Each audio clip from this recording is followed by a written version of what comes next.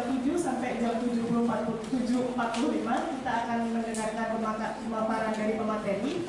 Kemudian 7.45 sampai jam 8.15 akan ada sesi diskusi atau tanya jawab. Baru kemudian jam 8.15 sampai jam 8.20 ada sesi penutupan. Nah, sebelum diskusi ini kita mulai, saya akan bacakan dulu bahwa dari diskusi ini akan ada hasilnya. Kami mengharapkan teman-teman ikut berpartisipasi dalam kompetisi yang diadakan oleh hukum online. Kompetisi pertama yaitu kompetisi menulis dengan tema pembaharuan hukum pidana material di Indonesia. Itu tenggat waktunya sampai tanggal 22 Juni. Kemudian kompetisi yang kedua adalah kompetisi menulis dengan tema Kenapa Benci Jakarta. Tenggat waktunya 30 Juni Kemudian kompetisi yang ketiga adalah kompetisi foto dengan tema Kenapa Cinta Jakarta. Nah yang berkaitan dengan diskusi ini adalah kompetisi yang pertama terkait uh, menulis dengan tema pembaharuan hukum pidana material di Indonesia. Nah kompetisi ini masing-masing berhadiah total juta rupiah, jadi akan sangat menguntungkan bagi teman-teman yang mengikuti kompetisi ini. Info lebih lanjut nanti bisa dikunjungi di uh, email melalui email di hukummedia@hukumonline.com seperti itu. Nanti akan ada apa informasi lebih lanjut via Twitter hukum online seperti itu ya. Nah untuk mempersingkat waktu kita akan mulai diskusi kita kali ini. Saya akan memberikan kepada rekan saya Muhammad Tanjil Azizi. Terima kasih.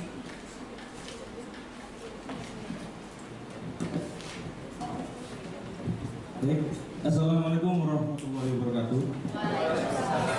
Selamat malam, selamat kepada teman-teman dari himpunan mahasiswa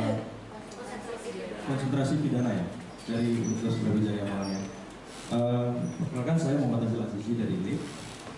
Uh, hari ini kita akan bahas tentang pembaruan hukum pidana material di Indonesia, di mana seperti kita ketahui bahwa sejak pertama kali diberlakukan tahun uh, 46 dan Undang-Undang 146 lalu 758 untuk seluruh Indonesia uh, banyak perkembangan-perkembangan hukum pidana material yang terjadi di Indonesia.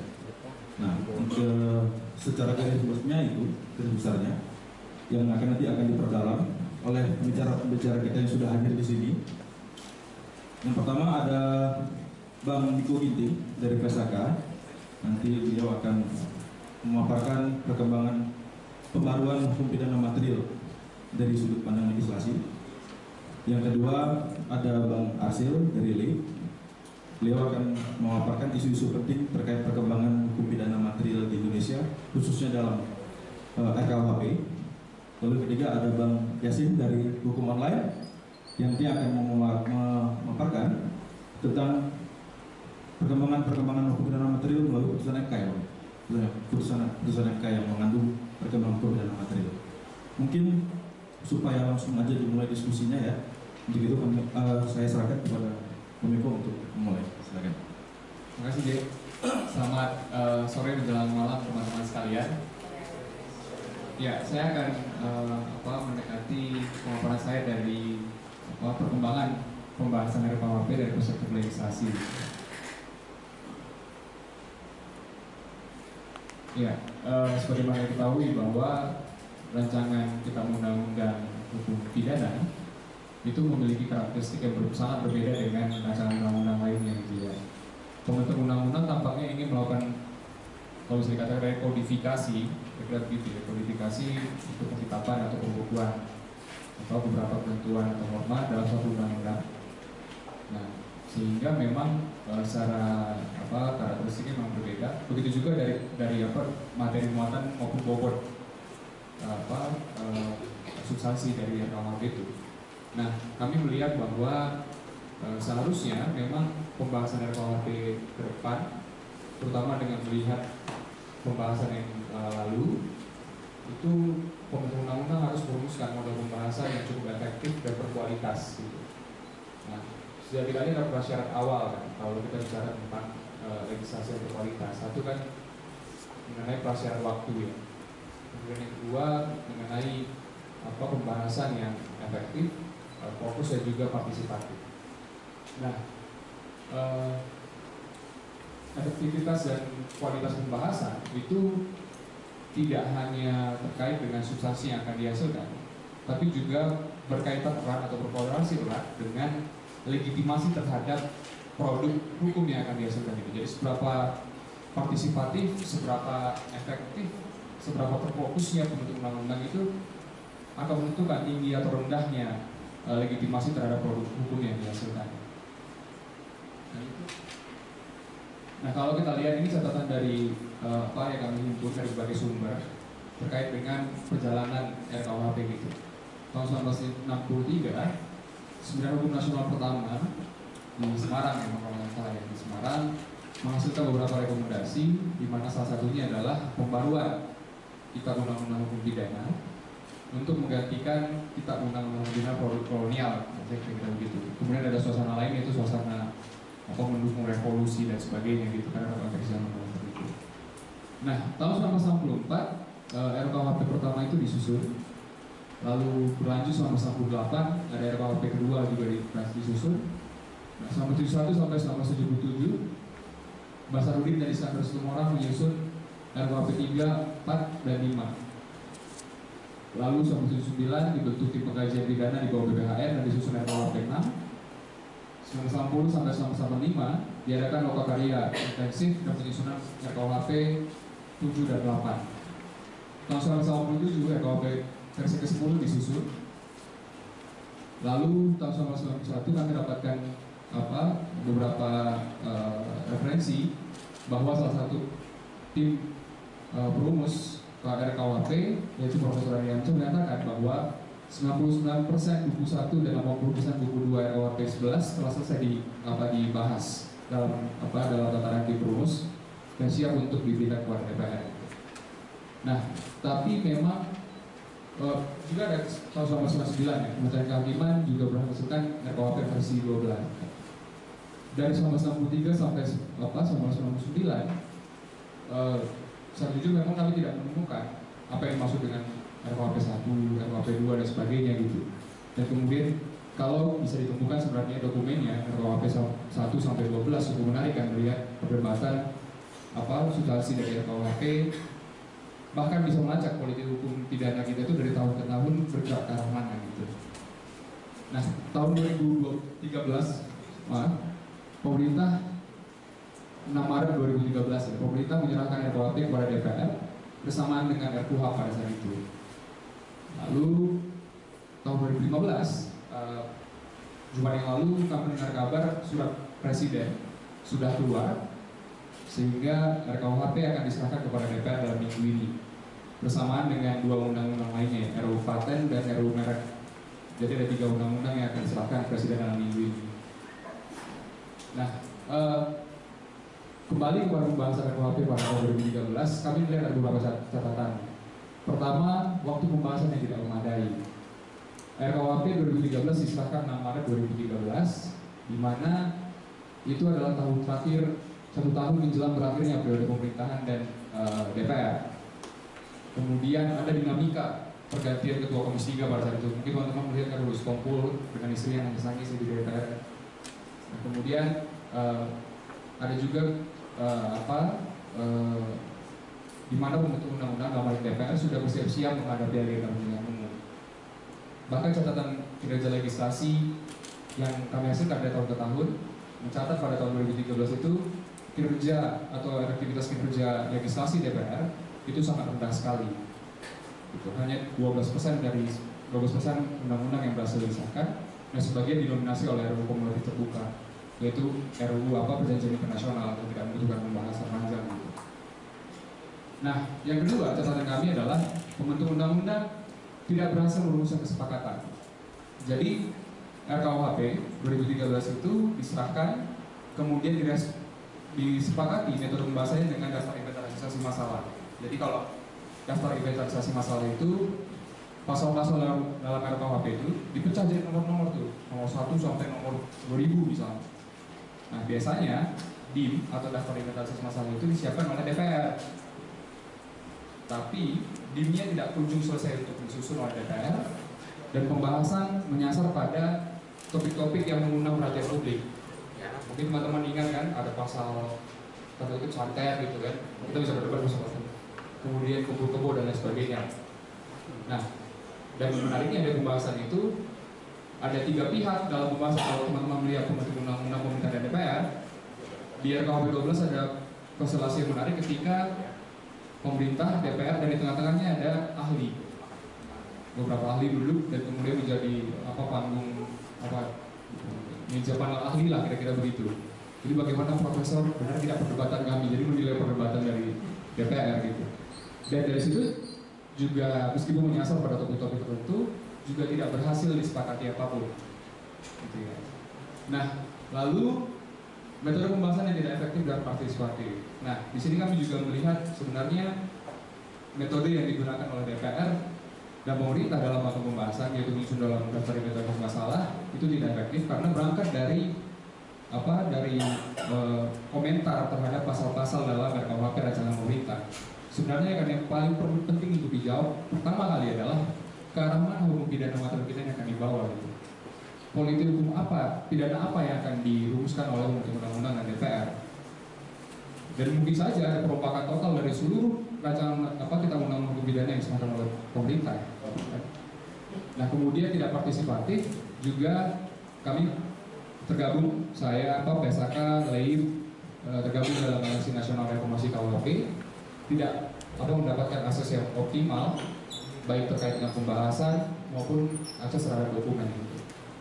Nah lalu yang keempat pembentuk undang-undang tidak berhasil merumuskan titik kesepakatan dari aktor dan konfigurasi kepentingannya. Kalau teman-teman ingat kan 2013 RKUHP dan RKUHP di apa diserahkan, kemudian ada perdebatan pasal satu, pasal kumpul kebo, lalu ada perdebatan soal pro atau tidaknya RKUHP dan KUHP terhadap eh, apa pemberantasan korupsi gitu. Kemudian ada penolakan dari beberapa lembaga penegak hukum, juga kelompok-kelompok masyarakat sipil. Nah, eh, seharusnya bentuk undang-undang pada saat itu apa bisa merumuskan titik kesepakatan apa yang akan diambil gitu. Tapi kami melihat bahwa sebenarnya permasalahannya lebih spasial karena eh, RKUHP dari masa ke masa memang kalau kita apa pernah wawancara dengan Prof. Marjo Rosadi Putro misalnya, RKUHP itu memang dibahas dan ditambal sulam gitu, metode ditambal sulam. Bahkan naskah akademiknya kan dibuat belakangan. Jadi naskah akademiknya tidak menjawab sebenarnya pengaturan-pengaturan dalam RKUHP itu tidak berikan justifikasi apa. Misalnya soal kenapa ada perluasan terhadap asas legalitas misalnya gitu ya. Tidak ditemukan dalam naskah akademik. Apa alasannya?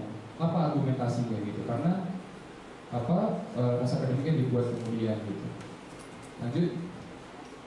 Nah, kemudian e, karena waktu juga sudah ini, ke depan kami mendorong pembahasan RKUHP yang efektif dan berkualitas. Yang pertama, caranya bagaimana? Membentuk undang-undang itu harus mengelompokkan dan memberikan fokus pada topik-topik pembahasan gitu. Yang pertama dilakukan adalah mengevaluasi seluruh delik-delik yang ada dalam KUHP. Kemudian mana yang masih akan dijadikan sebagai perbuatan pidana dalam hal ini kejahatan. Kemudian eh, mana yang kemudian apa juga perbuatan apa yang akan diancam masih diancam dengan uh, pidana penjara. Jadi kalau kita yang pertama kan kriminalisasi, kedua itu kan apa penalisasi gitu. Begitu juga sebaliknya, mana perbuatan-perbuatan yang sudah tidak sesuai dengan perkembangan masyarakat, kemudian dikeluarkan dari suatu apa dari perbuatan pidana atau dekriminalisasi, juga mana perbuatan yang masih dianggap perbuatan pidana tapi sanksinya bukan pidana penjara atau dekriminalisasi gitu. Itu yang pertama. Yang kedua, harus ada inovasi terhadap modal pembahasan. Kami mendorong sebenarnya metode clustering gitu ya. Metode clustering itu nyambung dengan yang pertama. Jadi titik fokusnya sudah ada, lalu di cluster berdasarkan topik-topik permasalahan. Jadi perdebatannya bukan lagi soal pasal per pasal dan redaksional. Nah, di metode DIM itu sering kali menjebak pembentuk undang-undang untuk membahas kata per kata. Gitu. Kata per kata, gitu. Nah, di metode clustering ada dua tim, jadi tim substansi dan tim redaksional. Tim substansi itu memperdebatkan mengenai substansi yang akan dihasilkan. Tim redaksional itu bukan pembentuk undang-undang tapi tenaga ahli atau membahas hal-hal yang bersifat non. Model ini sudah pernah diterapkan sebenarnya di pembahasan KUHAP atau Undang-Undang Nomor 8 tahun 1941 saat itu ada pembagian jelas antara tim substansi, apa, substansi dan kemudian tim redaksional. Nanti di akhir maka akan ada paripurna-paripurna kecil di tingkatan tim untuk merumuskan, oke kita sepakat dengan ini, total, kemudian melanjut ke materi berikutnya gitu. Nah kemudian ada efektivitas waktu pembahasan. E, bersyukur sekali karena pemerintah menyerahkan RKUHP di awal-awal masa apa masa bakti DPR gitu ya, sehingga ada sekitar 4 apa tahun untuk melakukan pembahasan. Tapi tentu waktu pembahasan yang panjang ini digunakan harusnya digunakan secara fokus oleh pembentuk undang-undang untuk merumuskan substansi yang berkualitas gitu. Jangan sampai kemudian eh, apa e, tidak fokus juga karena ada RUU paten, kemudian RUU merek, bahkan di pembahasan RKUHP 2013 kan paralel tuh pembahasannya RUU HAP, RUU Kejaksaan, RUU Mahkamah Agung Nah tentu saja kalau dengan beban yang seperti itu, legislasi yang berat seperti itu, bisa diproyeksikan bahwa RKUHP tidak akan bisa dibahas. Belum lagi misalnya beban kinerja ya, beban apa, pengawasan, beban anggaran yang melibatkan juga motor komisi 3 gitu. Nah kemudian ini tadi RKUHP prioritas, lalu yang berikutnya adalah pelibatan luas dari kelompok-kelompok terdampak. Nah, yang paling penting dari pembahasan undang-undang menurut kami adalah bagaimana pembentuk undang-undang itu satu menyelesaikan masalah yang akan yang diproyeksikan akan diselesaikan melalui undang-undang yang dihasilkan. Kedua adalah melibat, melibatkan gitu, melibatkan seluruh kelompok-kelompok terdampak dan mencari di kompromi terhadap konfigurasi kepentingannya. Nah tentu ini bukan pekerjaan yang mudah karena akan ada tarik menarik ya antara berbagai kepentingan. Tapi sekiranya memang pembentuk undang-undang harus meminimalisir apa semua semua perdebatan dan semua penolakan sehingga tingkat penerimaan dari KUHP kemudian legitimasi terhadap KUHP nantinya akan akan semakin tinggi gitu. Nah ini indikator saya nggak suruh katakan. Kira-kira begini indikator pemenuhan apa RUU kualitas. Mungkin ada juga buku cawahu ya di teman-teman. Setelah kerja legislasi bisa dilihat. Misalnya dari kategori kembali jadi dua, kategori proses substansi. Di proses misalnya ada siapa yang mengusulkan, alat kelengkapan yang membahas, waktu pembahasan, siapa saja yang dilibatkan, kemudian dinamika pembahasan, ada tidak inovasi dalam pembahasan? Kemudian dinamika pembahasan dinamika pembahasan itu adalah perdebatan atau argumentasi-argumentasi yang muncul dalam perdebatan termasuk penilaian terhadap bobot perdebatannya gitu. kemudian ada substansi tujuan dan pengaturan. Mau masalah apa yang akan diselesaikan? Kemudian penyelesaiannya cukup menyentuh masalah atau tidak? Lalu siapa yang akan diatur? Siapa lembaga pelaksana? Bagaimana pengaruhnya terhadap prinsip dasar terhadap masa manusia, masa manusia dan sebagainya gitu. Nah, termasuk juga yang paling penting adalah pengaturan untuk meninjau kembali. Pengaturan untuk meninjau kembali e, penting karena dalam berbagai undang-undang, kalau tidak salah dari tahun 2000 sampai 2015, hanya satu undang-undang yang memberikan ketentuan peninjauan kembali terhadap undang-undang itu, yaitu Undang-Undang Khusus Papua. Bagi kami seharusnya undang-undang itu memberikan mekanisme itu, jadi setiap tiga tahun sekali akan dievaluasi ini akan nyambung dengan poin terakhir. Bagaimana tantangan dalam demokrasi? Cukup efektifkah ketika undang-undang itu diterapkan dalam praktik? Menimbulkan masalah tidak dalam praktik? Jadi sehingga mekanisme apa peninjauan kembali terhadap substansi yang dihasilkan akan apa terus-terusan dilakukan. Gitu. Kira-kira begitu pemaparan singkat saya. Terima kasih.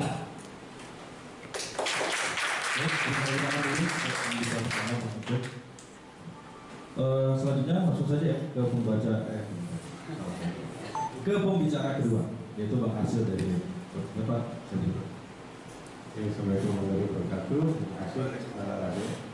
Uh, soal KUHP kami dari LEX uh, melakukan beberapa kajian.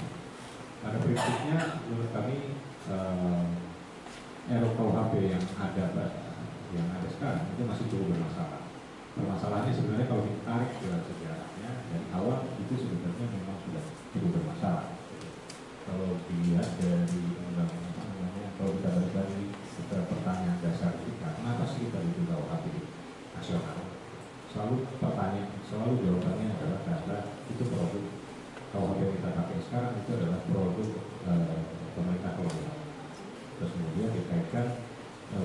substansi dari KUHP itu bersifat kolonialistik. Tapi apa itu kolonialistik? Itu tidak terlalu clear sudah. Banyak yang bilang bahwa kolonialistik itu karena uh, ancaman hukumannya itu terlalu tinggi.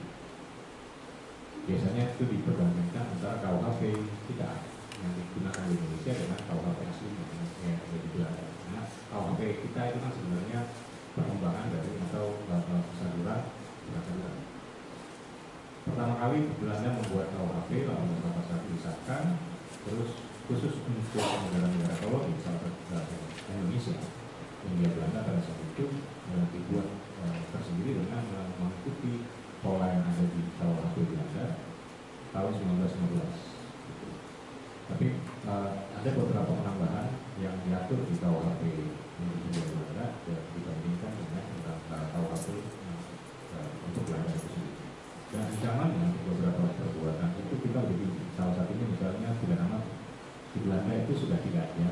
Uh, KUHP Belanda tidak mengenal lagi hukuman mati karena konstitusi Belanda 1830 atau 1841 itu memang sudah menghapuskan tapi khusus untuk negara-negara koloni salah satu Indonesia masih diatur dan beberapa delik itu ancamannya begini. Standar misalnya ah suara juga ya standar misalnya ancaman hukuman untuk kejahatan serius serius itu di, di, apa yang biasanya nggak harus serius itu ya eh, di Belanda itu yang ancamannya 4 tahun itu biasa eh, batasan untuk apakah perbuatan itu bisa dikenakan penahanan atau tidak.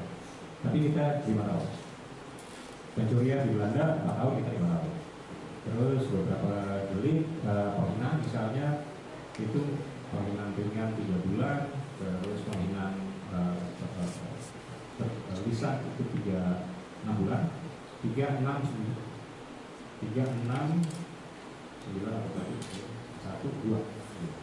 Terhadap keluarga raja ratu raja itu dua tahun. Kita nggak tahu. Yang kita nggak tahu. Uh, seperti itu jadi karena ada perbedaan antara hukuman antara yang dilakukan di Belanda dan di Indonesia maka kita bilang dia kolonialisme nah uh, kemudian uh, tahun 63 ya dilakukan dilakukan seminar hukum nasional. Uh, salah satu agendanya adalah pembaruan atau pembangunan hukum nasional. Salah satu yang dibahas adalah pembangunan hukum pidana nasional KUHP salah satunya sebenarnya uh, rencana untuk membuat seluruh hukum nasional itu tidak hanya KUHP seluruh undang-undang seluruh uh, undang-undang besar KUHP, KUHP, uh, perdata, dagang terus administrasi itu membuat pada saat itu. Karena seminar hukum nasional dibagi dalam beberapa beberapa beberapa, beberapa chamber salah satu salah satunya tidak nah tapi kalau kita lihat uh, bisa di ya uh, hasil dari seminar hukum nasional itu kalau dilihat di situ sebenarnya pembaruan hukum pidana yang ada pada saat itu sebenarnya tidak, tidak terlalu banyak tidak terlalu besar dari KUHP yang kita gunakan pada saat itu. Yang sampai sekarang masih digunakan. Buku satu kira-kira sama dibagi uh, dalam saat itu dibagi ada dua isu satu uh, ketentuan umum dan kemudian uh, tindak pidananya. Buku satu kira-kira sama buku dua lebih banyak uh, soal menambahkan tindak pidana. Ada beberapa uh, beberapa uh, uh, pemikiran uh, pidana tindak pidana baru yang diusulkan untuk dimasukkan. Ya kalau kita lihat nah sekarang itu semua sebenarnya fokus pada esensi pembaruan dari hukum pidana kita yang di RKUHP kita itu berasal dari tahun 63 itu. Yaitu sebagian mengatur soal menambahkan delik-delik kejahatan keamanan negara terus menambahkan delik-delik kaitannya sama uh, tindak pidana ekonomi, menambahkan delik-delik yang memasukkan nilai-nilai adat, terus nilai-nilai Islam agama dan uh, kesusilaan. Kesusilaan kaitannya nanti juga sama agama juga. Kalau dipecah, kalau kita lihat konteks pada saat itu, maka pembaruan hukum pidana yang dimasukkan hukum pidana nasional itu kira-kira uh, sangat bernuansa uh, uh, politik pada saat itu yaitu kelompok. Ada kelompok nasionalis, ada kelompok komunis yang biasanya kelompok komunis itu uh, isunya soal keamanan negara, uh, ekonomi gitu. Makanya pada tahun 63 itu juga dikeluarkan undang-undang subversi. Tahun 65 dikeluarkan PNPS uh, pengadilan agama.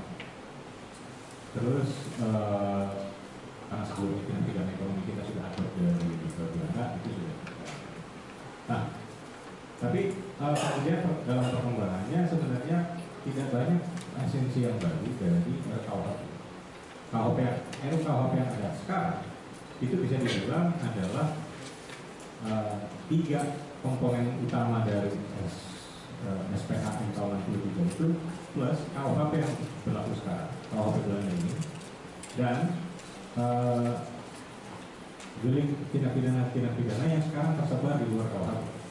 Jadi dia hanya merekodifikasi eh, eh, tindak pidana yang ada dalam KUHP di luar KUHP terus dilakukan beberapa tindak pidana baru yang idenya itu sebenarnya tahun 63. Gitu. Nah, jadi bahkan bisa dibilang hampir 95 persen kalau gitu. 95 persen materi yang ada di KUHP sekarang tetap ada. Contoh ada satu delik yang lucu lah yang sebenarnya udah nggak perlu ada juga. Kalau emang benar-benar mau serius mau membuat KUHP baru, KUHP nasional itu nggak perlu ada. Contohnya misalnya satu pasal yang ada di, di bab buku tiga pelanggaran sekarang itu berarti siapa yang membiarkan unggasnya memasuki lahan pekarangan yang telah dibidik itu dipidana nah, sekian hari atau sekian bulan. Yang apa yang berlaku dari dulu sekarang masih ada juga di RKUHP masukin. Nah, karena RKUHP itu tadi gitu ya. Dia memang hanya sekarang cuma dua dua buku buku satu dan buku dua ini buku satu akan buku dua dengan pidana berbeda dengan KUHP kita sekarang buku satu dua tiga dua unsur kejahatan tiga pelanggaran jadi bukan berarti nah, tapi sebenarnya buku dua yang sekarang itu hanyalah gabungan gabungan dari buku satu buku dua dan buku tiga. Karena hampir semua materi yang ada di dalam buku tiga sekarang itu tetap ada. Yang ini tidak berlaku juga gitu ya dimasukkan jadi aspek pembaruannya kalau kita melihat balik lagi ke maunya meninggalkan hukum kolonial. Tapi sebenarnya tidak ada yang ditinggalkan dari hukum kolonial dari KUHP yang sekarang tidak ditinggalkan hanya beberapa pasal yang uh, uh, saya tadi belum lagi misalnya ibu yang setelah melahirkan itu terus kemudian membunuh anaknya itu ada dua dua delik dalam KUHP satu biasa yang kedua sedang rencana. Yang rencana dihapuskan tidak sisanya yang individual dihapuskan Nah, terus kemudian uh, kalau pertanyaannya uh, kolonialistik itu adalah uh, ancaman lebih represif, maka uh, kami dari LE coba membandingkan uh, antara delik yang sama di dalam KUHP buat Belanda ini dengan uh, RKUHP. Nah, ini coba dibutuhkan. Apa itu Oke. Jadi kita tidak belum membandingkan seluruh pasal, tapi kita pilih 13 bab dalam perspektifnya dari KUHP. Nah, karena berbagai babnya ada beda, tapi kita lihat dari KUHP sekarang, dari 13 KUHP sekarang kita lihat ada berapa banyak ketentuan pidana yang sama. 13 ini kita pilih 13 uh, bab yang satu yang represif, yang kedua misalnya kejahatan taman negara, terus sebagian lagi itu yang sering digunakan. Ada satu kejahatan taman negara, ketertiban umum, kejahatan melawan penguasa, melakukan surat, kejahatan susulan, penghinaan, kemerdekaan orang, nyawa, pengayaan, pencurian, pemerasan, pengaruh seksual. Yang terakhir itu itu paling sering kan, kejahatan Nah, lanjut. Dari uh, 13 bab ini ada 215 ketentuan, bukan pasal, ya, ketentuan. Uh, ketentuan delik yang mengatur uh, yang sama antara RKUHP dengan KUHP.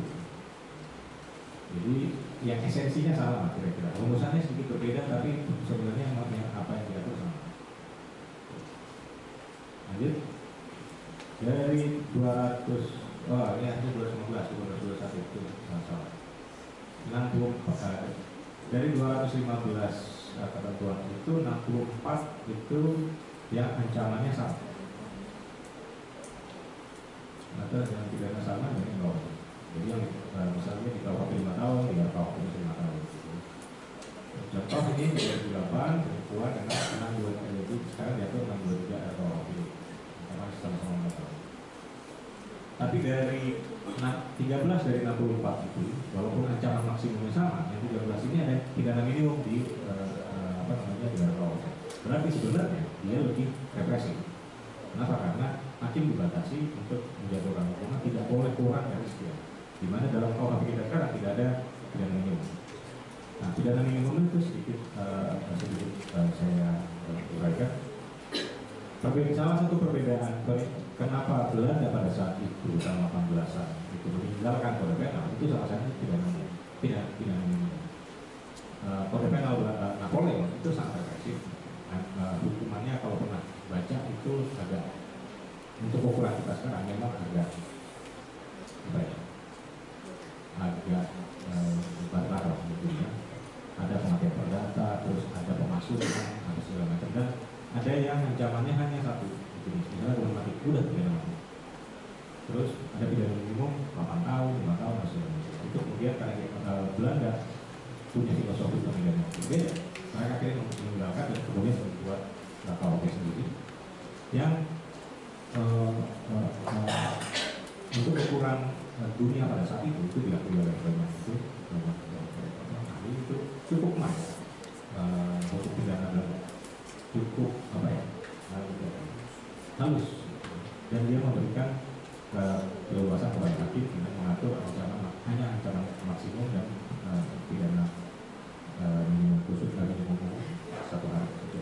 berbeda dengan eh, Prancis yang memang pada masa itu semangatnya tidak mempercayai pengadilan kan? Kalau kita ingat dari soal revolusi Prancis eh, apa, itu salah satu outputnya itu ya. mereka tidak terlalu percaya dengan hakim jadi Belanda yang sangat percaya dengan pengadilan pada saat itu Nah, terus kemudian 108 dari 221, 216. Saya, eh, saya buat koreksi, jadi saya kembali ke 216. 108 dari 219 kemampuan pidana yang sama itu ancaman di RKUH, eh, RKUHP itu lebih tinggi dari KUHP yang berlaku sekarang. Nah, ada yang perbedaannya itu 11 tahun, 11 tahun. Di sekarang KUHP sekarang itu misalnya 296 dikaitkan dengan susilari satu, satu tahun, oh ini susilari satu tahun, terus begitu dibuat ke KUHP. Ya, KUHP menjadi 12 tahun. 282 eh, apa namanya eh, ah,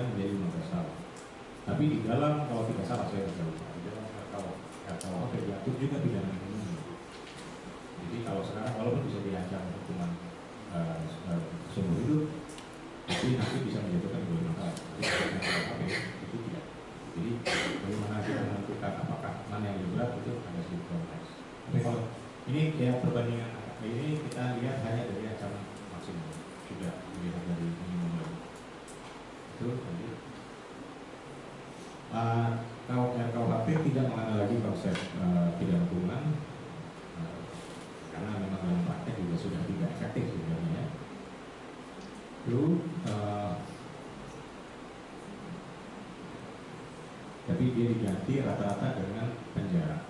Nah, uh, penjara.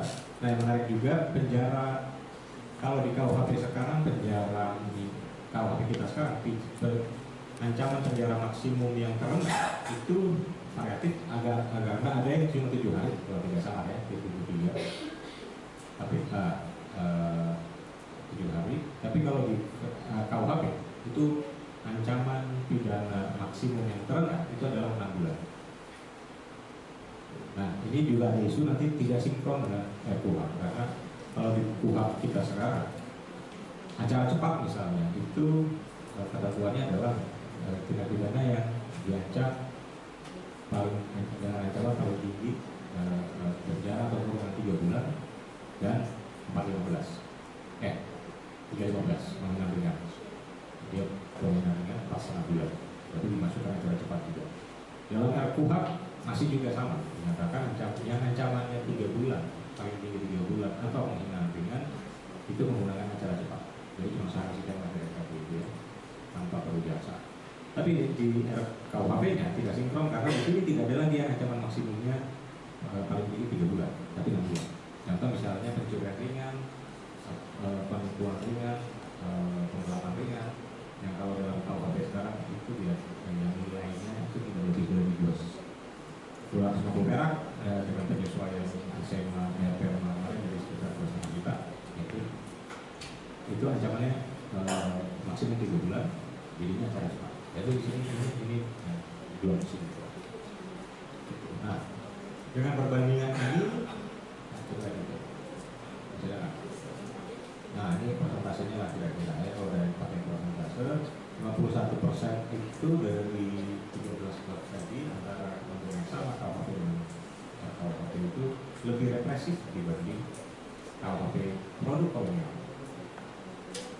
hanya eh, 20 persen yang KUHP buatan anak bangsa ini eh, lebih ringan atau tidak lebih represif dibanding eh, KUHP.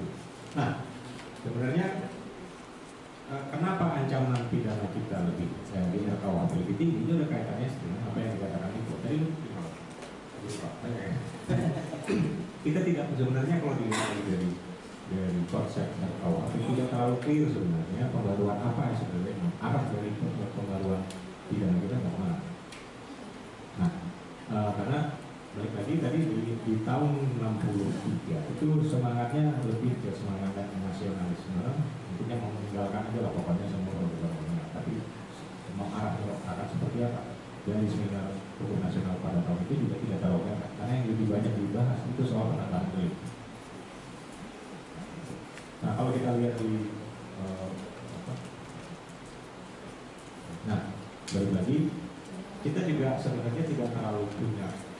Dan mungkin memang belum banyak ahlinya juga yang mengurusi soal kebijakan pidana kebijakan pidana kebijakan pidana itu tidak terlalu uh, tidak mungkin belum ada sehingga arah dari pembaruan hukum pidana kita tidak terlalu jelas. arah dari pembaruan KUHP ini juga terefleksi dari kenapa ancaman itu kita uh, uh, itu di, kita juga coba perbandingkan ini antara delik di luar KUHP zaman orde baru, orde lama, orde baru dengan uh, orde reformasi.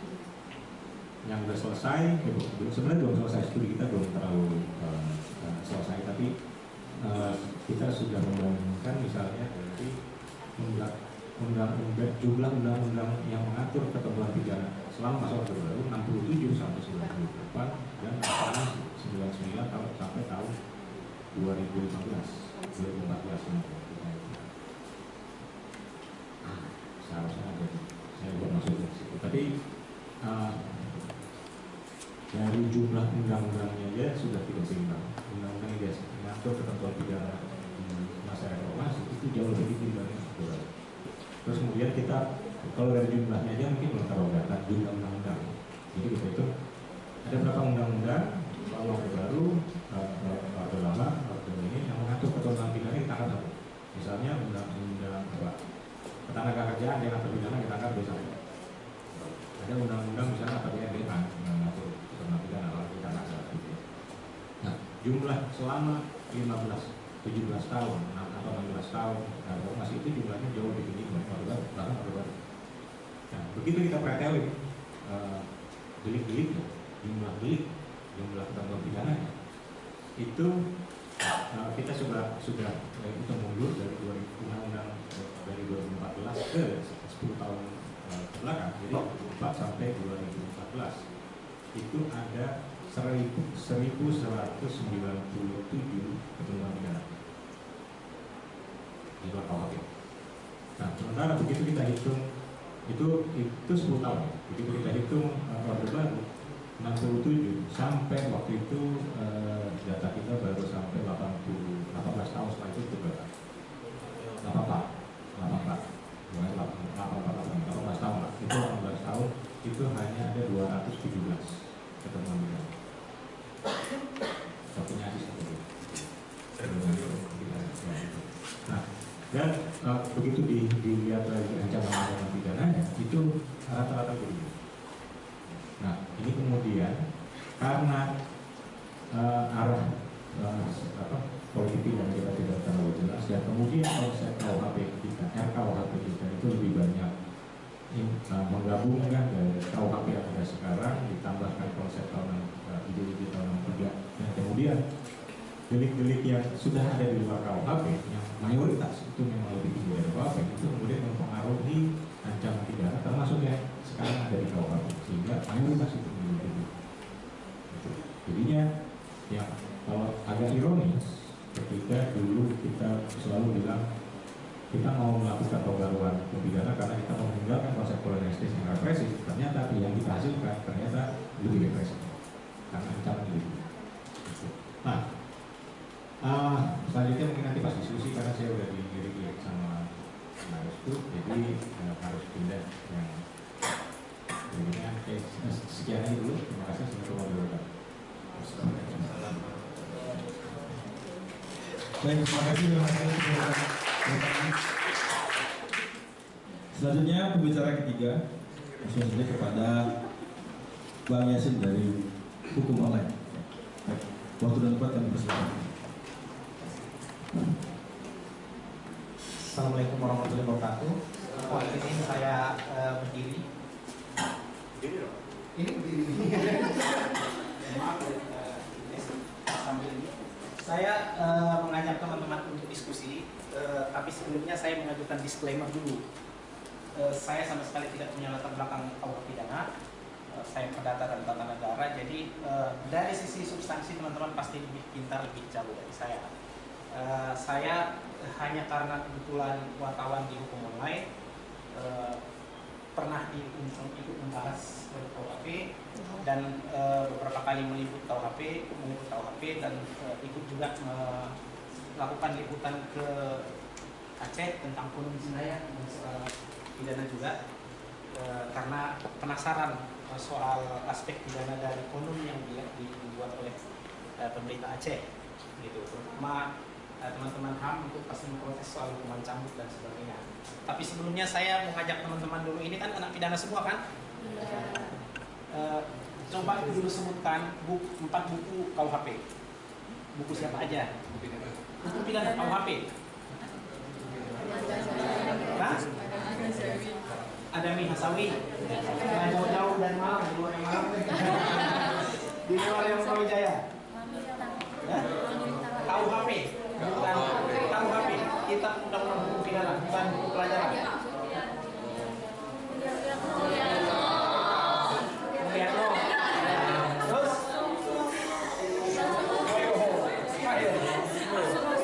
KUHP Suroso terus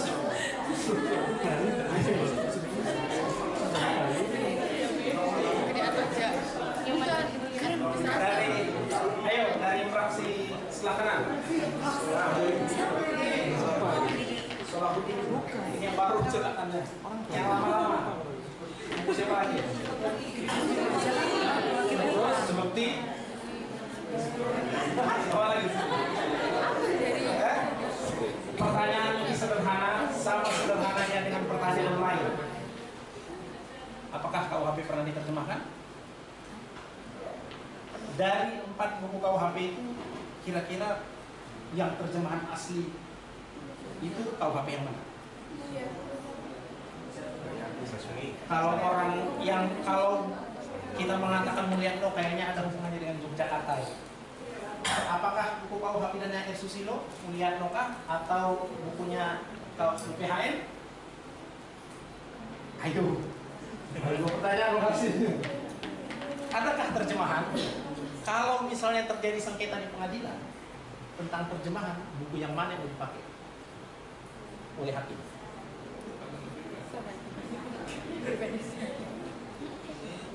Ada perbedaan istilah yang dipakai kan? Perbedaan istilah yang dipakai. Sama aja di bawah perdata itu pertanyaan-pertanyaan yang mengemuka bagi saya sebagai wartawan yang bukan orang KUHP di lapangan. Itu antara lain ya antara lain yang muncul di lapangan. Dan beberapa kali saya tanya Pak Andi Hamzah sorry ya Pak Andi Hamzah tentang eh, terjemahan tentang KUHP dan sebagainya.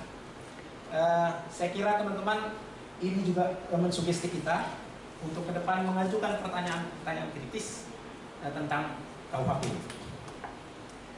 Eh, saya coba menjelaskan apa yang saya eh, ikuti, saya ikut. Sebelum 2004, saya membuat batasan 2004. Sebelum 2004, ada beberapa cara mengubah KUHP. Tadi teman-teman Niko dan Bang Arsil sudah menjelaskan ada beberapa caranya. Misalnya eh, membuat rumusan baru, memasukkan rumusan, membuat norma baru. Nanti bukan SD ada nggak? Coba. Ini terus terus ya mencabut dan menghapus Nah, itu ada 11 pasal di Undang-Undang 146 bahkan kalau teman-teman membaca Undang-Undang Tindak Pidana Korupsi itu ada 11 pasal KUHP yang dinyatakan tidak berlaku. Ada banyak kok itu hanya beberapa contoh ya Undang Tindak Pidana Imigrasi. Persoalan yang muncul adalah nah ini pertanyaan ketiga lagi.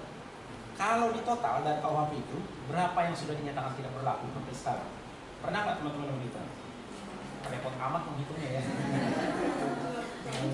Tapi coba sesekali hitung ya. Coba sesekali hitung. Kemudian itu menghapus eh, dan mencabut.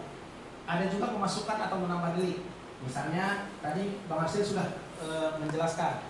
Dan ini pernah diuji ke Mahkamah Konstitusi ya. Delik penodaan agama. Kemudian eh, terhadap bendera kebangsaan pasal 154A delik penerbangan dan sebagainya. Persoalannya adalah apakah kira-kira ini masih relevan diatur dan masuk. Yang kedua, bagaimana kalau ada undang-undang baru, Undang-Undang 24 2009 tentang bendera kan sudah ada, Undang-Undang 1 2009 tentang penerbangan sudah baru semua. Masih relevankah kira-kira kira-kira ini diatur? Itu pertanyaan yang harus dijawab oleh teman-teman nanti ya, skripsi, ya, tesis dan sebagainya. Yang ketiga, eh, mengubah perumusan delik atau norma ada mengubah ancaman pidana yang terakhir eh, ini ditambahkan 15 kali dan terakhir itu ada perma kemudian mengubah istilah atau bahasa Belanda. Eh, sama halnya dengan eh, irah-irah putusan itu tadinya kan kepada ratu gitu ya kemudian diubah kepada Tuhan yang Maha Esa. Eh, terus persoalannya adalah ini masih relevan nggak kira-kira benda dan sebagainya. Soal denda misalnya ini ada hubungannya dengan yang lain. Menurut teman-teman eh, itu apa artinya doangsom? Uang paksa itu perdata apa pidana? Oh, administrasi. Coba teman-teman lihat di Undang-Undang 18 2013 tentang apa itu? 18 2013 pemberantasan eh, hutan, soal hutan, soal tindak pidana di hutan.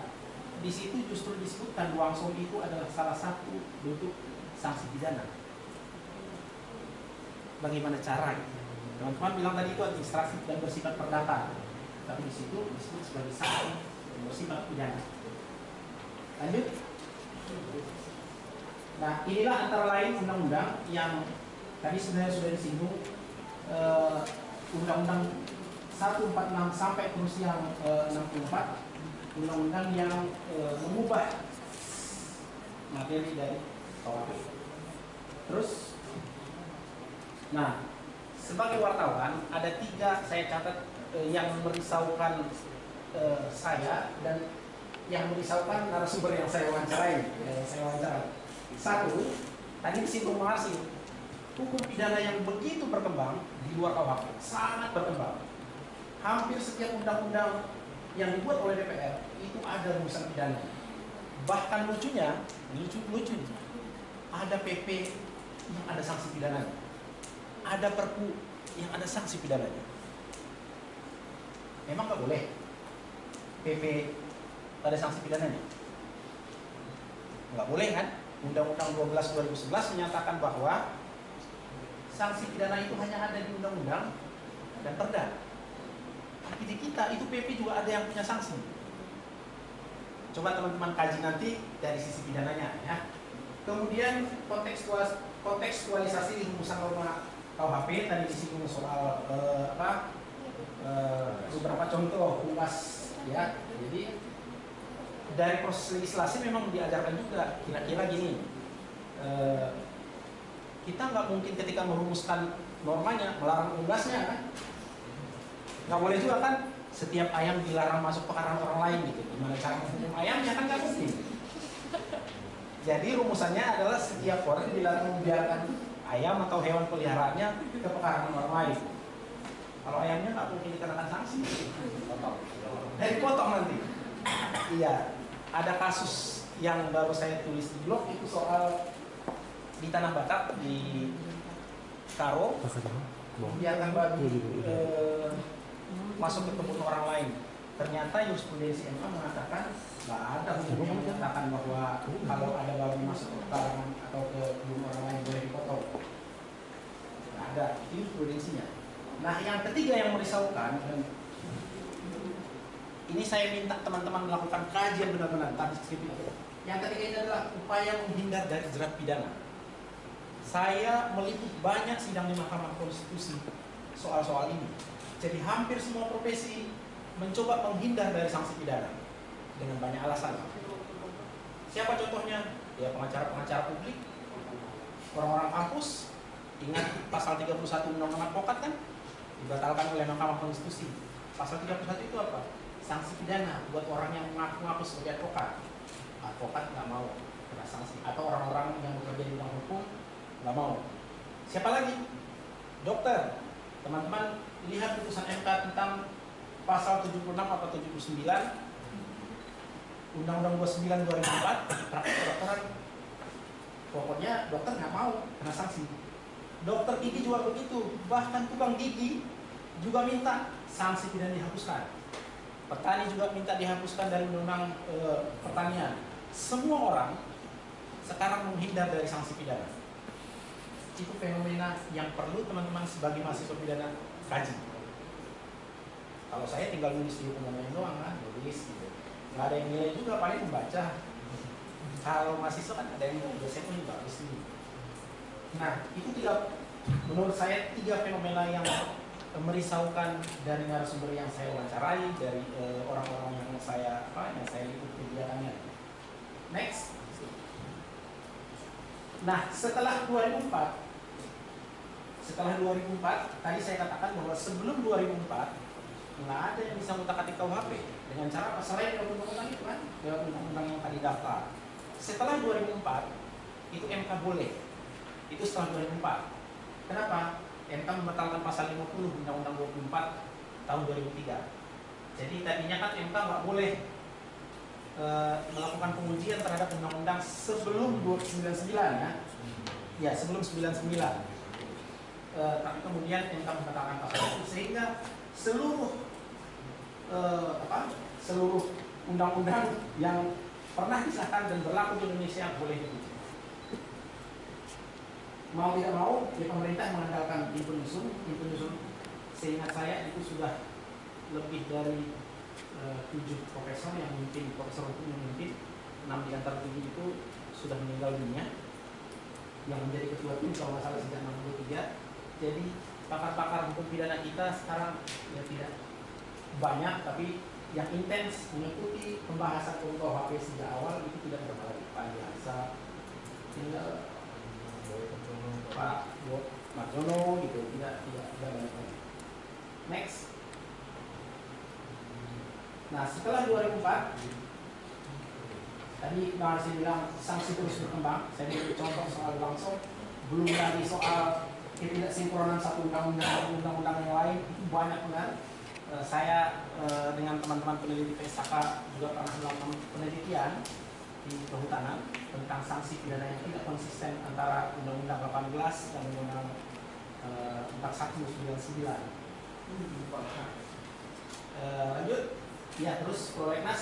Nah, masalahnya adalah tim penyusun KUHP terus berganti, RUU KUHP hampir selalu masuk prolegnas. Ya kan Pak Estri ya? Selalu masuk prolegnas berbahagialah teman-teman yang mendalami KUHP yang mendalami bidang perdata itu lebih parah lebih parah lagi kenapa saya bilang lebih parah itu hanya pernah sekali masuk prolegnas hilang sama sekali. Jadi kalau Bang Arsil bilang nggak banyak yang menaruh perhatian pada pidana, lebih parah lagi perdata. nggak ada sama sekali. Lembaga swadaya masyarakat yang advokasi tahu perdata ada nggak? Nggak ada. Kalau tadi teman-teman lihat daftar, KUH pidana itu berubah lewat undang-undang.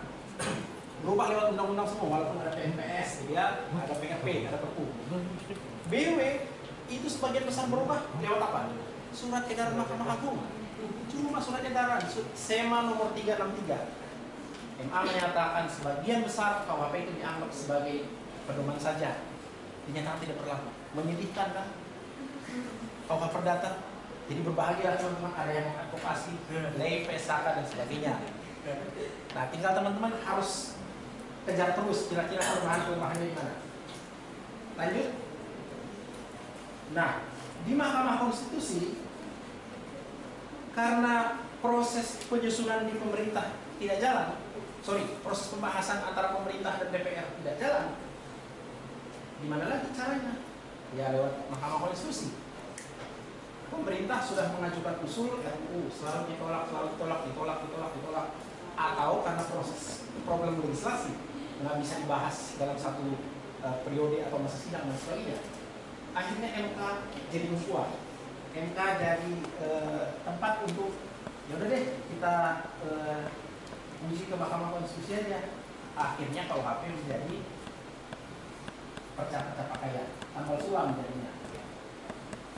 Kemudian eh, apakah putusan-putusan eh, Mahkamah Konstitusi eh, prospektif di latar belakang keilmuan hakim itu juga berpengaruh. Setahu saya rata-rata hukum tata negara kecuali yang sekarang Pak Swanto ya itu hukum pidana dari Unhas. Next.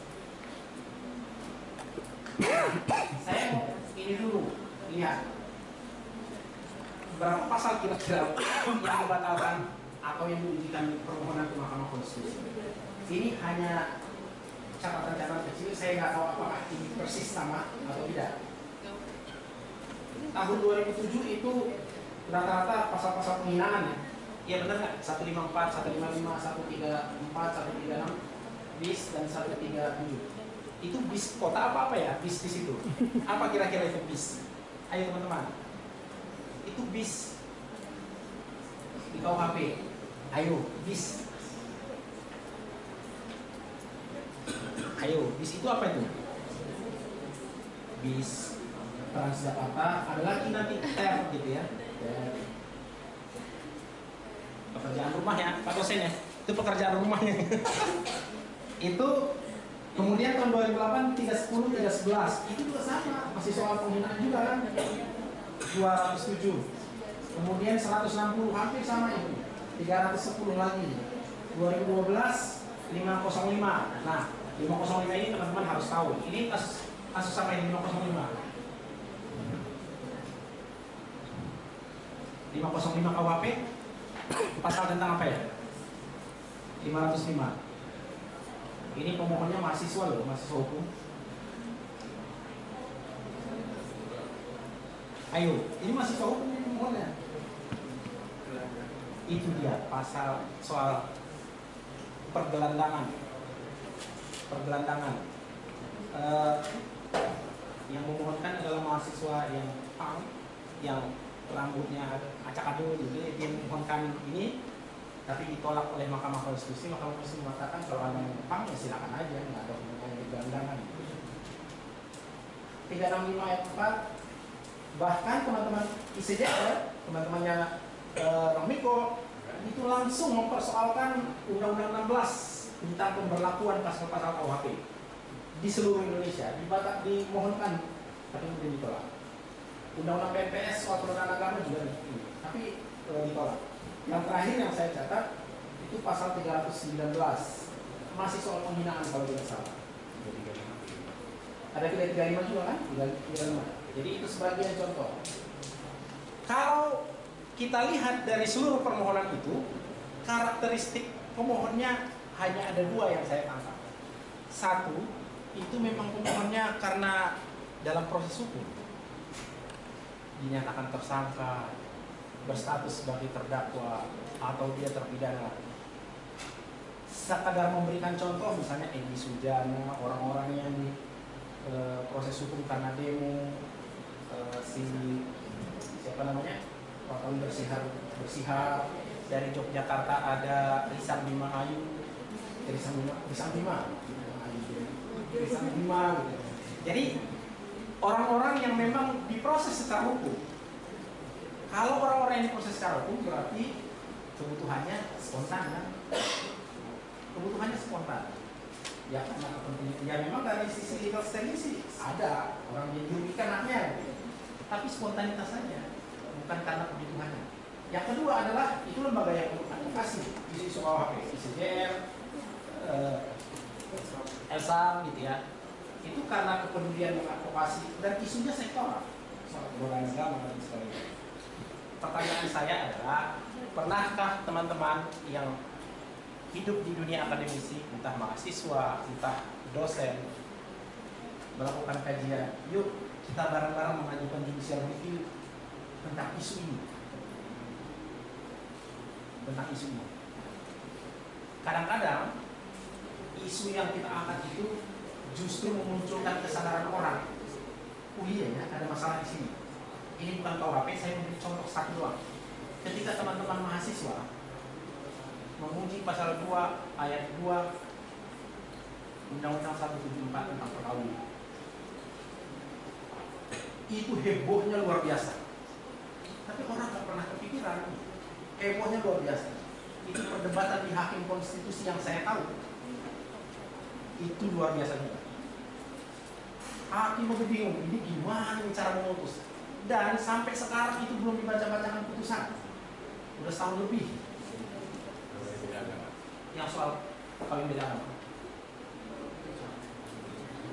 Itu beberapa contoh. Sehingga teman-teman yang bergelut di bidang KUHP, silakanlah untuk melakukan kajian-kajian, silakan melakukan diskusi. Ada banyak loopholes, ada banyak bolong-bolong yang mau kita apa ya kita gali lebih dalam kita kritisi e, sehingga nanti KUHP yang e, apa yang dihasilkan itu memang bermanfaat untuk kita semua itu kuncinya tadi. nah, yang terakhir saya ingin uh, apa sih keuntungan buat hukum online untuk isu-isu pidana gitu ya. Pidana itu pasti banyak isu, banyak benar. Uh, dibanding KUH Perdata memang lebih banyak KUH Perdata ya. KUH Perdata 1970 97 ya. 1990 pasal kalau pidana yang terakhir naskah terakhir itu RUU terakhir 700 86 kalau tidak salah pasal itu naskah per 21 Januari eh, 20 1 Januari ya itu ya 700-an 740-an nah itu tadi yang saya katakan banyak akademisi yang concern. Hukum online senang karena banyak ahli-ahli pidana eh, yang concern dibanding perdata gitu ya. Kemudian ada yang lembaga yang mengadvokasi sehingga bagi kita itu lebih mudah. Pertanyaan yang terakhir buat saya adalah apa kira-kira hukumnya? Kita berkoar-koar bahwa ada putusan Mahkamah Konstitusi. Kalau tidak ditaati juga, apa gunanya putusan Mahkamah Konstitusi? Sebagai bahan perenungan kepada teman-teman, ternyata sudah diputuskan Mahkamah Konstitusi pasal tersebut bertentangan dengan konstitusi muncul lagi di RUU Contohnya yang saya tahu adalah pasal tentang pembinaan presiden. Itu muncul lagi di RUU. Padahal sudah jelas-jelas putusan Mahkamah Konstitusi menyatakan pasal itu Jadi itu teman-teman bahan e, diskusi, bahan pencerahan kepada kita semua. Saya tidak e, seperti saya katakan di awal, saya tidak menggurui. Saya sambil belajar dengan teman-teman juga. E, kalau Eh, sehari-hari di hukum lain ada klinik hukum, ada liputan, itu mengajarkan kami yang jurnalis di dalam selalu belajar, selalu belajar dan mudah-mudahan semangat itu ada di teman-teman. Eh, saya yakin kedatangan teman-teman ke sini justru dalam rangka itu. Terima kasih. Terima kasih, terima kasih atas pemaparannya. Ya, Jadi. Uh, sebelum masuk sesi tanya jawab, mungkin saya ingin sedikit mensummary yang sudah disampaikan oleh para pembicara. Ya tadi Bang Miko uh, memaparkan secara panjang lebar mengenai uh, perkembangan dari pembahasan RKUHP mulai dari 63 ya Bang ya, itu seminar nasional. Lalu apa kendala-kendalanya mulai dari membahas tidak efektif lalu apa dorongannya dan dan lainnya. Lalu menghasil kemudian memaparkan bahwa mengenai perbandingan antara KUHP dan RKUHP yang ternyata eh, anak negeri ingin membuat yang lebih tidak kolonial ternyata faktanya lebih kolonial 51 persen tadi ya ya ternyata pidana jauh lebih berat ya. dan juga tadi bang Yasin eh, memaparkan tentang hubungan antara KUHP dan MK dan eh, cara pengubahan KUHP di bawah tahun 2004 dan setelah 2004 ya, Bang. Ya, secara singkat itu eh, kemudian saya akan buka sesi tanya jawab. Mungkin yang pertama tiga orang, tiga orang. Tolong sebutkan nama, berdiri, sebutkan nama dan mungkin bisa bertanya kepada siapa gitu. Kalau itu jelas nomor cuma satu. Ya. Mungkin ada yang bertanya saya. Satu coba, oke. Banyak dulu, masa baru banyak ya. Banyak nanti sisi dulu. Oke. Silakan. Pak. Assalamualaikum warahmatullahi wabarakatuh. Nama saya Megi Bastiani. Eh, saya ingin bertanya kepada Bapak Wasis. eh, eh, Arsil, Arsil. oh, Pak Arsil, mohon maaf. Eh, sebagai para wakilan dari LIP, eh, yang ingin saya tanyakan ini agak substansial ya Pak. Itu terkait eh, contempt of court, yaitu penghinaan terhadap peradilan. Eh, seperti kita tahu, contempt of court adalah eh, intervensi dari pihak luar yang ditujukan kepada lembaga peradilan yang dimungkinkan nantinya akan mempengaruhi terhadap putusan hakim. Eh, kemudian yang ingin saya tanyakan itu eh, di dalam KUHP sendiri, setahu saya itu belum secara tegas eh, diatur. Eh, sudah diatur, cuman mengenai sanksinya atau ketentuannya itu belum secara tegas gitu. Bahkan eh, di KUHP yang lama itu eh, cenderung lebih tegas mengatur ketentuan tentang penghinaan terhadap presiden. Bahkan menurut Bapak dari hukum online tadi menyatakan bahwa di RKUHP juga dimasukkan yang baru padahal jelas-jelas di Mahkamah e, ya itu su- sudah dijelaskan bahwa itu sudah dicabut gitu. Nah, e, yang ingin saya tanyakan itu apakah sekiranya di RKUHP nanti akan diperkuat e, ketentuan terhadap contempt of court e, yang bertujuan untuk mencapai independensi peradilan. Ini saya menanyakan eh, pendapat dari Bapak eh, sebagai perwakilan dari LIP, yaitu sebagai lembaga yang meneliti dan mengkaji tentang independensi terhadap peradilan itu sendiri. Terima kasih. Wassalamualaikum warahmatullahi wabarakatuh. Terima kasih. Mbak? Selanjutnya. Ya, terima kasih. Nama saya Radingga Tristiana.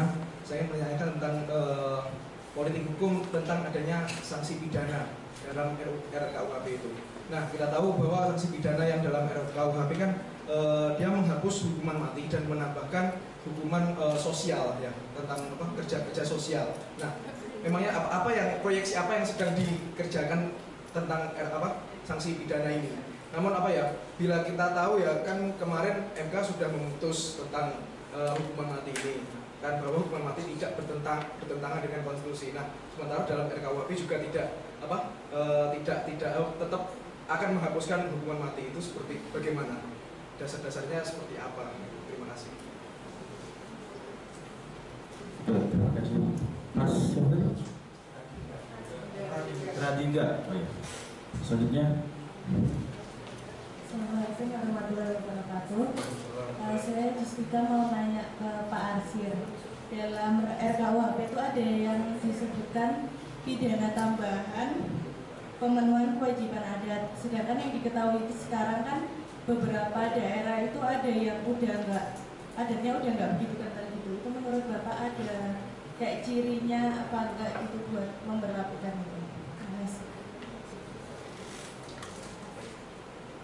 Baik, terima kasih. Mungkin langsung dijawab oleh Bang Arsif. Semuanya seperti Bang Arsif ya? Mas Rading, Radingga dari Miko itu. Kita semuanya? Oh gitu. Nanti pengasuh dulu coba tiga tiga silakan. Uh, ya saya agak kurang jelas tentang tema kuat yang mau ditanya? Eh, itu pak. Yang di KUHP sekarang kan masih belum kuat pak. Masih belum tegas oh, ya. nah apakah dimungkinkan nanti untuk uh, di RKUHP akan diperkuat atau dipertegas? Oh ya dia ya, kalau tema kuat sebagai content of court tidak menghina terhadap eh, apa namanya eh, pengadilan memang belum secara tegas gitu. Sebenarnya content of court dalam dalam petik itu intinya eh, kejahatan atau tindak ya, pelanggaran terhadap penghinaan itu ada banyak model ya. ada ada ada content of court ada obstruction of justice ada miscarriage of justice kalau bahasa Inggris ya nah kalau di KUHP kita memang lebih banyak mengatur soal eh, sebagian dari itu tapi soal tata tertib sidang terus bagaimana tidak mengganggu jalannya persidangan. Penghinaan terhadap pengadilan tidak ada yang spesifik tapi dia dimasukkan ke eh, 207 ya penghinaan terhadap badan publik badan badan umum bahasa terjemahannya itu. Itu. Nah memang di RKUHP yang sekarang di RKUHP sudah coba dilakukan tindak pidana terhadap eh, proses peradilan kalau tidak salah saya lalu pak saya eh, mesti minta maaf sama Lid karena walaupun saya relate justru yang bagian contempt of court dan kutip belum saya kaji secara mendalam. Tapi memang isunya sekarang banyak penolakan juga terhadap eh, pasal-pasal contempt of court. Kaitannya nanti dengan kebebasan berpendapat. Gitu. Ini dulu isu ini pernah muncul di 2000 berapa 2006 2007 ya. Itu penolakan dari beberapa pers karena takut nanti eh, kritik terhadap pengadilan itu di, di padahal apa namanya sebenarnya kita juga butuh satu satu mekanisme satu instrumen yang bisa melindungi kekuasaan kekuasaan kehakiman Eh, tapi itu tapi saya belum bisa banyak eh, ini karena belum mengkaji secara mendalam. Bab soal kejahatan terhadap tindak pidana terhadap proses peradilan ada beberapa yang tapi mayoritas memang masih kaitannya dengan eh, penghinaan sih kalau di konten. Jadi kalau soal miscarriage of justice, obstruction of justice itu justru tidak terlalu kelihatan. Itu. Ya itu yang, yang bisa saya katakan. Eh, terus yang tadi banyak belakang apa tadi? Tadi Oh, tidak ada apa? eh, Ada tidak ada tambahan. Ya, tidak ada tambahan. Mungkin nanti bisa ditambahkan sama sama Niko. ya, tidak ada tambahan pengenaan sanksi adat yang mungkin nanti eh, saya tidak tahu bagaimana nanti berjalannya ya, karena mungkin di beberapa daerah bisa, eh, mungkin juga tidak.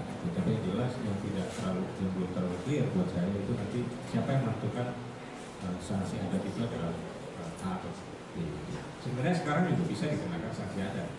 Sanksi adat itu kita KUHP yang sekarang itu bisa mengenakan sanksi adat. Walaupun tidak secara tegas diatur. Dulu di zaman tahun 70-an itu ada satu hakim yang menerapkan itu dan itu bisa dengan menggunakan satu instrumen yang ada di KUHP sekarang itu berdok apa namanya apa bersyarat itu yang bersyarat. Jadi tidak dipidana, tapi eh, dengan syarat dia tidak mengulangi lagi dan kemudian atau meng- meng- mengganti kerugian. Nah, itu biasanya digunakan mekanisme adat. Tahun 74 ada satu orang hakim Pak Ansarul itu konflik adat pada saat itu di Papua di Wamena terus kemudian karena dia tahu kalau ini dipidana dengan pidana pokok maka tidak akan efektif konflik itu akan semakin besar maka dia gunakan eh, PW itu 14A 14C pidana pidana bersyarat ya pidana bersyarat digunakan syaratnya adalah si korban eh si pelaku itu membayar sanksi adat kalau itu dilakukan maka pidana tidak dijalankan. Tapi itu bukan pidana tambahan. Itu bukan pidana tambahan. Itu pidana bersyarat soal eh, hukuman mati sebenarnya kalau RKUHP tidak menghapuskan hukuman mati. Tapi dia menjadikan hukuman mati sebagai alternatif eh, pemidanaan. Ada syaratnya.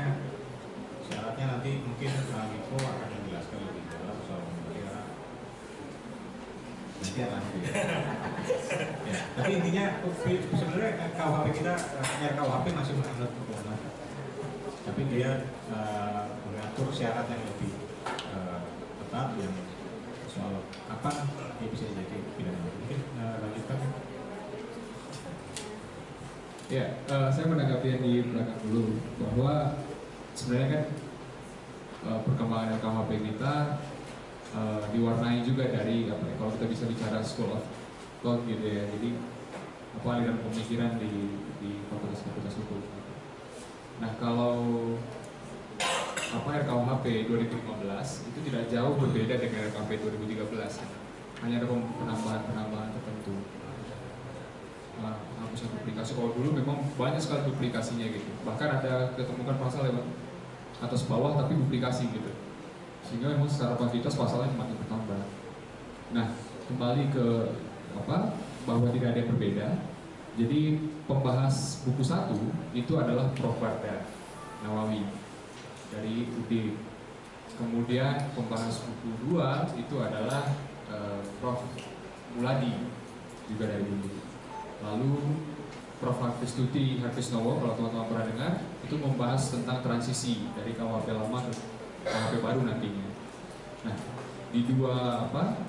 Di dua buku satu dan buku dua tadi, terutama buku satunya ya, di situ memang kental sekali dengan apa? Dengan e, perluasan terhadap legalitas itu termasuk memberikan unsur-unsur ada gitu.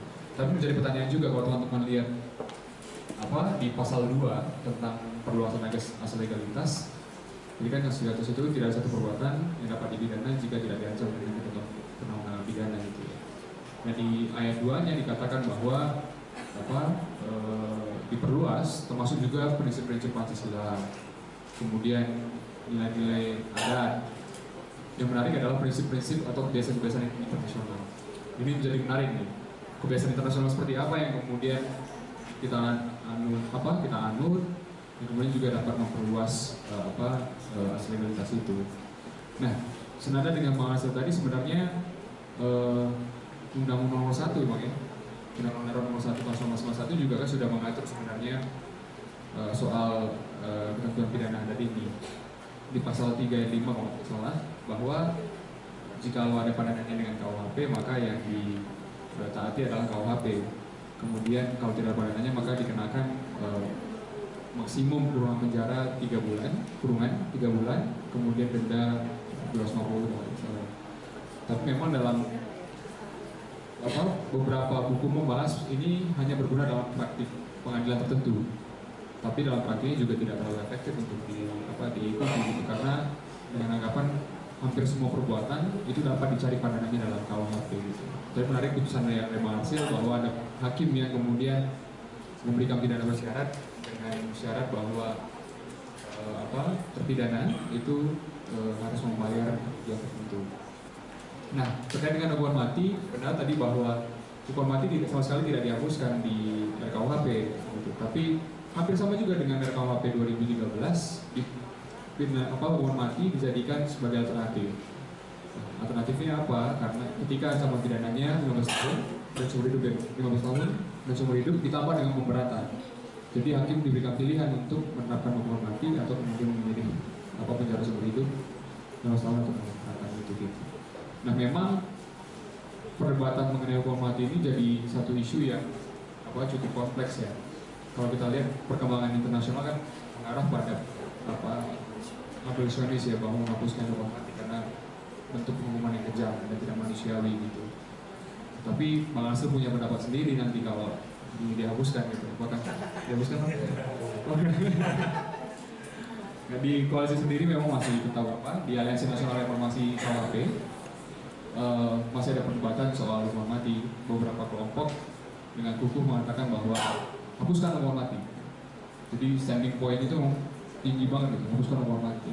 Tapi ada beberapa beberapa apa beberapa teman-teman uh, juga yang mendorong tidak apa-apa kita menganut kan ada dua tuh ada yang dianut tapi dipersulit syarat pelaksanaannya. Gitu, jadi ada yang mencari titik kompromi di sana. Tidak apa-apa kita mengambil langkah positif kemudian syarat pelaksanaan apa pelaksanaannya kemudian menjadi pertama gitu.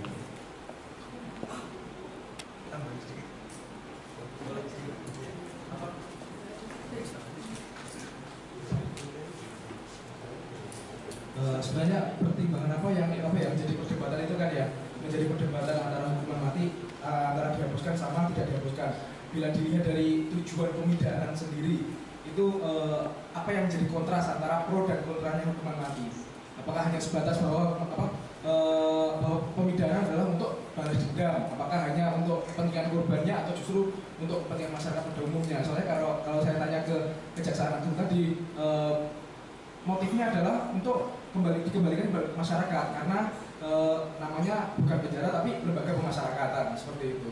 Gimana kalau menurut dari eh, teman-teman koalisi sendiri?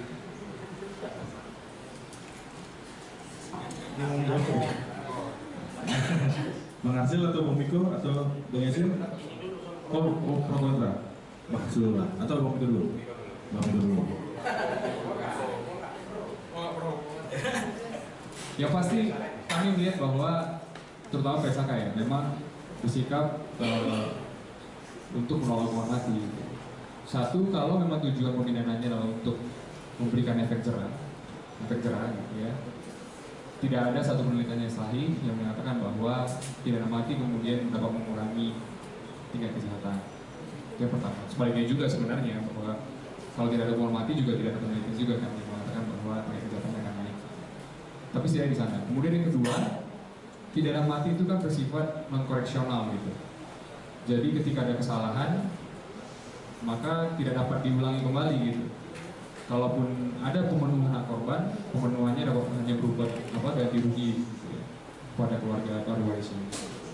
Nah, kami melihat di sistem peradilan pidana kita hari ini, contohnya kemarin gerbong yang apa gerbong apa gerbong yang dieksekusi gitu ya, dari beberapa kasus juga kita melihat ada kejanggalan-kejanggalan yang sebenarnya ini benar nggak sih Mary, Mary Jane itu apa memang membawa kode fakta persidangan jaksanya menuntut seumur hidup akhirnya putus mati misalnya gitu kan. Kemudian ada Jainal Abidin misalnya gitu ya. Lalu ada yang skizofrenia dan sebagainya dan sebagainya gitu. Sehingga menurut kami di sistem peradilan pidana yang eh, apa yang eh, belum sempurna betul maka penerapan hukuman mati sebaiknya dihindarkan beberapa literatur kan juga mengatakan bahwa kalau pembinaan itu kan apa bio reasonable doubt gitu. Dia di, di atas keraguan-raguan dan tapi kalau mati itu tingkatannya berbeda. Jadi beyond all no doubt dan kebenaran objektif. Objektif truth gitu. Nah persoalannya kapan ada keadaan yang beyond all no doubt sama kebenaran objektif itu? Gitu. Dan ketika itu tidak didapatkan hukuman mati dilaksanakan dan tidak bisa dikoreksi itu akan menjadi sangat berbahaya sekali Ya kalau soal hukuman mati sebenarnya perdebatan antara itu saya tidak mau, bagaimana sikap saya, tapi soal apa yang terjadi dalam perdebatan itu. Ada kelompok yang ya, kelompok yang pro hukuman yang nanti hukuman mati itu menyat- eh, nanti itu karena eh, apa berpandangan, karena apa berpandangan hak hidup itu adalah hak yang tidak dapat diberikan. Negara tidak boleh mencabut eh, hak hidup seseorang, termasuk tidak boleh menjatuhkan hukuman mati karena bukan negara lah yang melakukan entah siapa tapi eh, apa yaitu kaitannya sama hak asasi. Hak itu bukan apa adalah hak eh, non non derogable right hak yang tidak bisa dikurangi tidak bisa di ya, tidak bisa dikurangi lah kira-kira. Itu itu basis argumen dari eh, yang menginginkan hak hukuman mati untuk dihapuskan selain dari alasan-alasan lainnya itu adalah karena eh, tingkat kesalahan salah satunya adalah tingkat kesalahan eh, eh, eh, penghukum itu juga eh, jadi satu faktor ya. jadi eh, tingkat kesalahan manusia itu cukup tinggi sehingga akan sangat berbahaya ketika dalam satu sistem peradilan yang masih yang korup itu hukuman mati diterapkan maka tingkat kesalahannya itu bisa eh, cukup tinggi Nah, sementara uh, kelompok yang menganggap hukuman mati itu penting, itu satu ya biasanya itu soal efek jerah dan kemudian untuk masyarakat. Jadi uh, karena si oh, terpidana itu atau si pelaku itu adalah satu nasir yang mengganggu masyarakat, membahayakan publik atau membahayakan itu maka itu perlu di, di eliminate gitu ya, harus dihapuskan, harus dihilangkan. Gitu.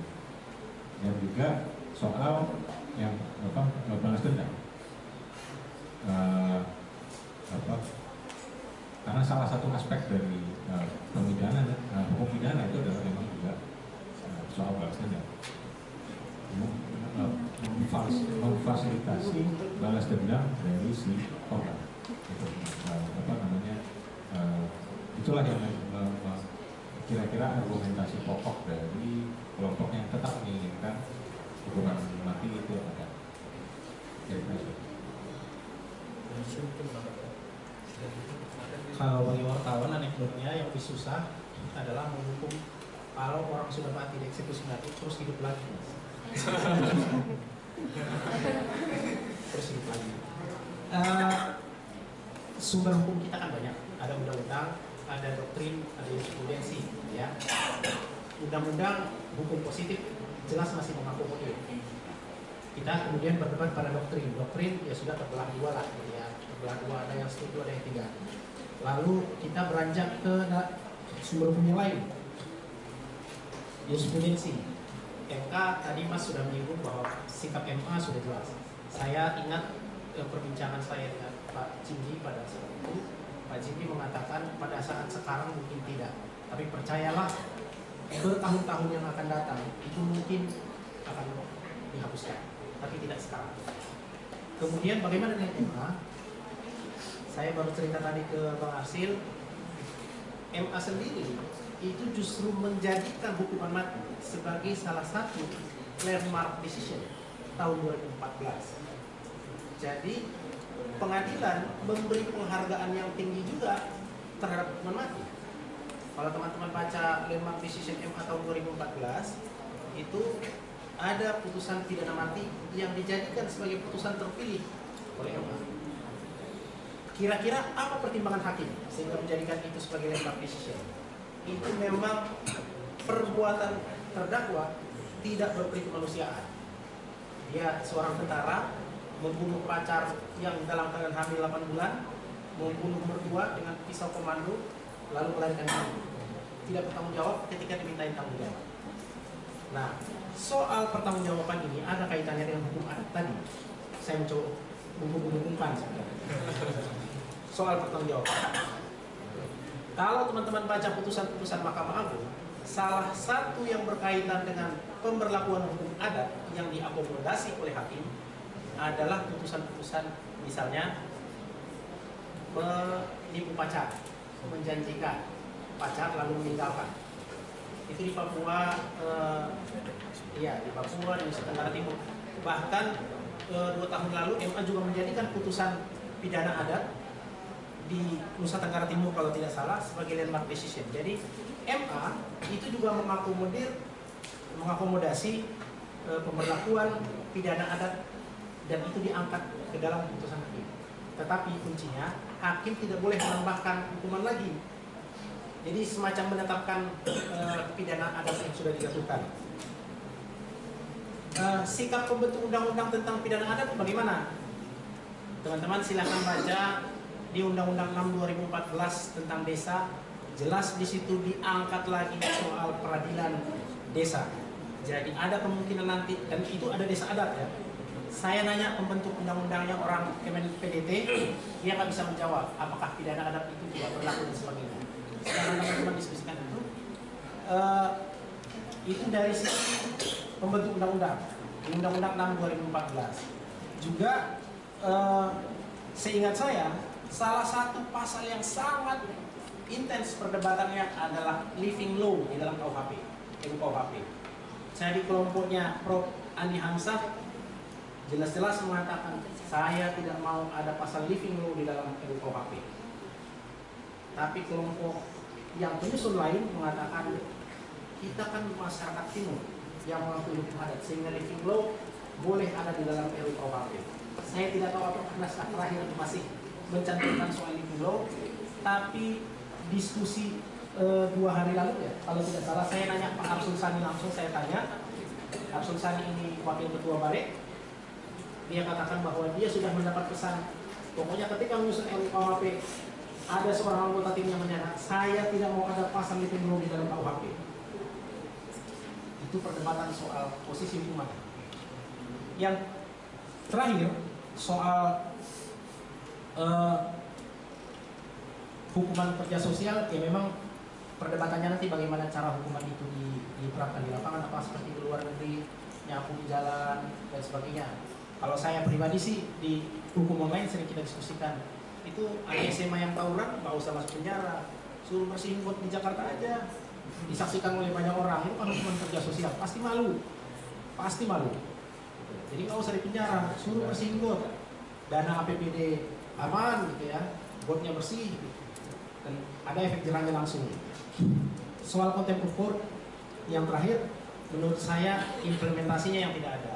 Teman-teman bisa melihat bagaimana praktek di lapangan saya memberi contoh tempat tinggal saya di Depok. Ruang ketua pengadilan di Opera Kabrik di Opera Kabrik orang yang yang mengobrak abrik ruang ketua pengadilan sekarang jadi calon wali kota Depok. Sudah dinyatakan tersangka sekarang jadi calon wali kota. Jelas ada CCTV-nya polisi menunjukkan CCTV-nya tapi ya itu yang terjadi. Belum lagi kalau kasus hakim yang apa kolonel yang membunuh hakim di ruang sidang pengadilan agama ya itu dihukum berat ya dihukum berat. Tapi itu banyak sekali contoh teman-teman le- memantau eh, peristiwa. Bayangkan teman-teman ketika kasus Budi Gunawan eh, pra peradilan gitu. orang begitu ramai di situ teriak-teriak dan sebagainya. Apakah itu bukan penghinaan? Yang lucunya ada orang sujud syukur tapi tempat becek. Gitu. orang sujud syukur mah di sajadah gitu tapi tempat becek. Di Jakarta yang saya pantau itu sering kali penghinaan kepada pengadilan. Jadi problem soal contempt of adalah problem implementasi. Tapi saat ini sebagai informasi minggu lalu RUU itu dibahas. RUU of court dibahas oleh MA saya nggak tahu dari teman-teman siapa yang hadir tapi itu dibahas eh, oleh MA eh, dan IKAHI jadi arahnya ke mana itu belum jelas. Salah satu keberatan ya teman-teman saya wartawan. Karena di situ di draft RUU yang versi 2002 kalau nggak salah eh, yang di hasil penelitian MA wartawan adalah salah satu jadi pemberitaan salah satu eh, sasaran yang akan kena nanti kalau ada konten of jadi kita nggak boleh menulis hakim kecuali hakim Garuda Nusantara terima kasih Ya, saya menambahkan sedikit soal apa soal tadi pidana. Eh, memang secara prinsip sering kali hakim juga mempertimbangkan putusan gitu ya. Terakhir, Bang Arsul pasti juga membaca lebih banyak. Terakhir saya mendapatkan membaca dan mendapatkan putusan soal carok. Ya. Carok itu Madura ya kalau salah ya. Jadi ada penghinaan, apa berantem gitu, berantem. Si orang ini istrinya dihina, dia lagi jadi TKI di Malaysia, terus dia pulang, itu ngadu carok, ditusuk lawannya itu ditusuk mati tapi dia kabur karena putusan itu jadi dia bilang ini budaya carok gitu hakim kemudian membantah karena budaya carok itu kalau udah membunuh orang itu nyerahin diri ke apa kepala adat gitu ketua adat jadi caroknya tidak terpenuhi karena dia melarikan diri setelah membunuh itu itu kan bukti bahwa sebenarnya secara prinsip hakim juga memperhatikan kan dalam konteks apa kearifan-kearifan seperti itu gitu meskipun tentu ada perdebatan apakah nanti apa ini tidak bertentangan dengan asas legalitas atau bagaimana gitu. Kira-kira itu mas saya terima kasih. Baik, terima kasih. Kita berikan tepuk tangan sekaligus Eh, mohon maaf karena keterbatasan waktu mungkin tidak ada lagi sesi pertanyaan. Mungkin nanti kalau ingin bertanya silakan di luar. Ya. Langsung saja kita narasumber. Gitu ya. Untuk itu lebih kurangnya saya mohon maaf untuk itu saya